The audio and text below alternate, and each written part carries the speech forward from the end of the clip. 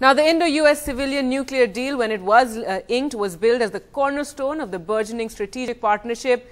But five years later, things have not really gone according to script. There's frustration on the US side. To get a sense of what's happening and uh, will there be the first commercial nuclear agreement between India and US when Prime Minister Manmohan Singh visits Washington next month, NDTV science editor Pallav Bagla spoke exclusively to Richard Stratford, the Director of Nuclear Energy, Safety and Security at the US State Department.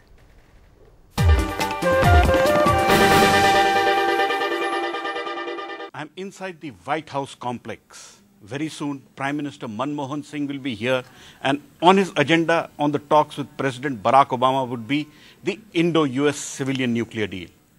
I have with me Richard Stratford, who played a key role in negotiating the Indo US civilian nuclear deal.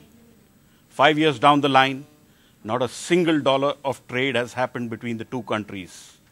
Richard Stratford, are you frustrated that nothing has happened on the Indo US civilian nuclear deal five years down the line? No, I'm not frustrated, but there are a lot of complexities that I think need to be handled. The most important, I think, is the liability issue for our companies.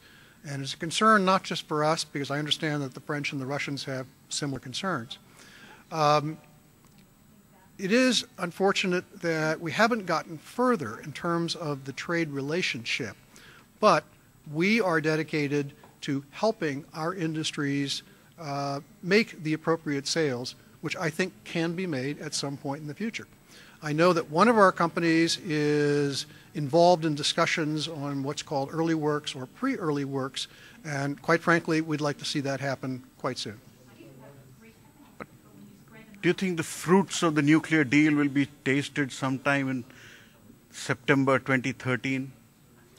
I don't know the answer to that, but remember, the fruits of the nuclear deal go well beyond the trade relationship. I mean, when we started down this road, we wanted to cement a relationship with the government of India. India has said for years and years, if you want that kind of a relationship, cooperation in the civilian nuclear area is part of the price. Well, we now have a burgeoning relationship. I think the military ties are getting stronger. I think the strategic ties are getting stronger. And I think we have a much closer relationship at high levels in the foreign ministries and in the, uh, the energy ministries.